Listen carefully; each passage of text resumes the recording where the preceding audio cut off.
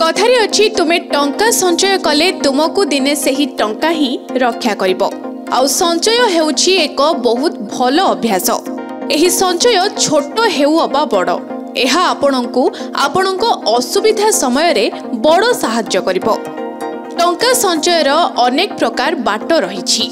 କିଛି ସଞ୍ଚୟ ବଜାରର ଲାଭ କ୍ଷତିକୁ ନେଇ ହୋଇଥାଏ ଏବଂ ଆଉ କିଛି ସଞ୍ଚୟ କେବଳ ସୁରକ୍ଷିତ ହୋଇଥାଏ ଅର୍ଥାତ୍ ସେୟାର ବଜାର ସହ ଏହାର କୌଣସି ସମ୍ପର୍କ ନଥାଏ ଯେଉଁ ନିବେଶରେ ବଜାରର ଲାଭ କ୍ଷତିର ପ୍ରଭାବ ପଡ଼ିନଥାଏ ତାହାକୁ ସେଫ୍ଟି ବା ସୁରକ୍ଷିତ ନିବେଶ କୁହାଯାଏ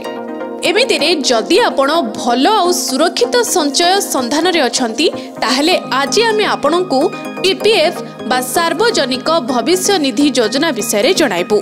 ଯାହାକୁ ଆପଣ କୌଣସି ବି ଡାକଘରେ ଅତି ସହଜରେ ଆକାଉଣ୍ଟକୁ ଖୋଲିପାରିବେ তাহলে আসন্তু দর্শক বন্ধু আউ ডেরি ন করি এ বিষয়ে ডিটেলস রে জানিবা দর্শক বন্ধু আমি আজ পিপিএফ কু নেই কিছি খাস কথা জনাইবাকু যাওছু যেউথিরে আপন জানি পারিবে যে পোস্ট অফিসর পিপিএফ খাতা কেউ মানে খুলি পারিবে এমিতিরে তো সবু ব্যাঙ্করে মধ্য আপন পিপিএফ আকাউন্ট খুলি পারিবে হেলে ভারতীয় ডাক সেবা ওয়েবসাইট অনুযায়ী কৌশি বি নাগরিক পিপিএফ খাতা খুলি পারিবে ଏହାଛଡ଼ା ନାବାଳକ ମାନସିକ ବିକାରଗ୍ରସ୍ତ ଏବଂ ଦୁର୍ବଳ ଥିବା ବ୍ୟକ୍ତିଙ୍କ ପାଇଁ ସେମାନଙ୍କ ଅଭିଭାବକମାନେ ଏହି ଆକାଉଣ୍ଟକୁ ଖୋଲିପାରିବେ ତେବେ ଆପଣଙ୍କୁ ଜଣାଇବାକୁ ଚାହିଁବୁ ଯେ ସାରା ଦେଶରେ ଥିବା ପୋଷ୍ଟ ଅଫିସ୍ କିମ୍ବା କୌଣସି ବି ବ୍ୟାଙ୍କରେ ଆପଣ କେବଳ ଗୋଟିଏ ପିପିଏଫ୍ ଖାତା ହିଁ ଖୋଲିପାରିବେ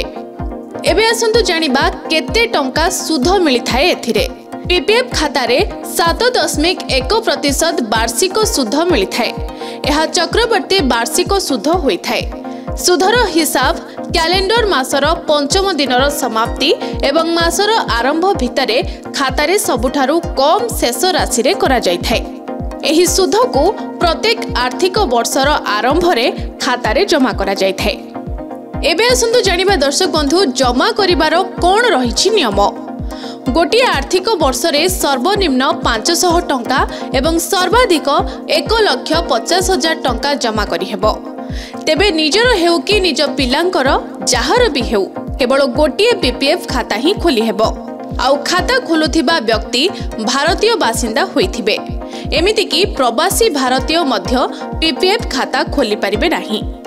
অবশ্য ভারতরে বসবাস করুথিবা ব্যক্তি যদি আকাউন্ট খোলিবা পরে বিদেশ চালি যাইথান্তি তেবে এহা ম্যাচুরিটি পাইলা পর্যন্ত সেথিরে টঙ্কা জমা করিপারিবে পোস্ট অফিসরে পিপিএফ খাতা খোলিবা পাই voter card Aadhaar card passport driving licence ମଧ୍ୟରୁ କୌଣସି ଗୋଟିଏ ଦରକାର ହେବ ତା ସହିତ ନିଜର ପାନ୍ କାର୍ଡ଼ ଠିକଣା ପ୍ରମାଣ ଗୋଟିଏ ପାସପୋର୍ଟ ସାଇଜ୍ ଫଟୋ ଆବଶ୍ୟକ ହେବ ଫର୍ମ ପୂରଣ କରି ଏସବୁ ଡକୁମେଣ୍ଟକୁ ତା ସହ ଯୋଡ଼ି ପୋଷ୍ଟ ଅଫିସରେ ଦେବାକୁ ହେବ ଆହୁରି ମଧ୍ୟ ଏହି ଖାତାରେ ଅନଲାଇନ୍ରେ ଟଙ୍କା ଜମା କରିହେବ ବ୍ୟାଙ୍କରୁ ମଧ୍ୟ ଟ୍ରାନ୍ସଫର କରି ପୋଷ୍ଟ ଅଫିସ ପିପିଏଫ୍ ଖାତାରେ ଟଙ୍କା ଜମା କରିପାରିବେ ଆପଣ ଜମା କରିବାର ପନ୍ଦର ବର୍ଷ ପରେ ପିପିଏଫ୍ ଆକାଉଣ୍ଟ ମ୍ୟାଚୁରିଟି ହେବ ଆପଣ ଚାହିଁଲେ ଏହାକୁ ଆଉ ପାଞ୍ଚ ବର୍ଷ ବଢ଼ାଇ ପାରିବେ ତେବେ ତିନି ବର୍ଷ ପରେ ଆପଣ ଏହି ଖାତା ଜରିଆରେ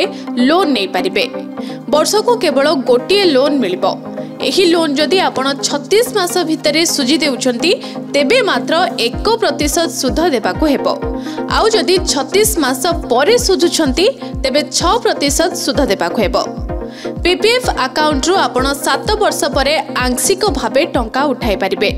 ଆପଣ ଜମା ଟଙ୍କାର ପଚାଶ ପ୍ରତିଶତ ଯାଏ ଉଠାଇ ପାରିବେ ଗୋଟିଏ ବଡ଼ କଥା ହେଉଛି ପିପିଏଫ୍ ଖାତାରେ ଥିବା ଆପଣଙ୍କ ଟଙ୍କା ଉପରେ ଯେଉଁ ସୁଧ ମିଳିବ ତା ଉପରେ କୌଣସି ଟ୍ୟାକ୍ସ ଲାଗିବ ନାହିଁ ଅବଶ୍ୟ ମ୍ୟାଚୁରିଟି ପୂର୍ବରୁ ମଧ୍ୟ ଆପଣ ପିଏଫ୍ ଆକାଉଣ୍ଟକୁ ବନ୍ଦ କରିପାରିବେ ତେବେ କେବଳ ବିଶେଷ ସ୍ଥିତିରେ ଏହାକୁ ବନ୍ଦ କରି ସବୁ ଟଙ୍କା ଉଠାଇ ହେବ দর্শক বন্ধু আশা করুছু এই সূচনা আপনার সাহায্য করব নিশ্চয় আপনার বি যদি গোটে সেফটি নিবেশ খোঁজরে অনেক তাহলে আপনার একদম বেস্ট হব ভিডিও ভাল লাগিলে ଏହାକୁ ଅନ୍ୟମାନଙ୍କ ସହ ବି ସେୟାର କରନ୍ତୁ ଏମିତି ଭିଡ଼ିଓ ଆଗକୁ ଦେଖିବା ପାଇଁ ଯୋଡ଼ି ହୋଇ ରୁହନ୍ତୁ କେ ନ୍ୟୁଜ୍ ଓଡ଼ିଶା ସହ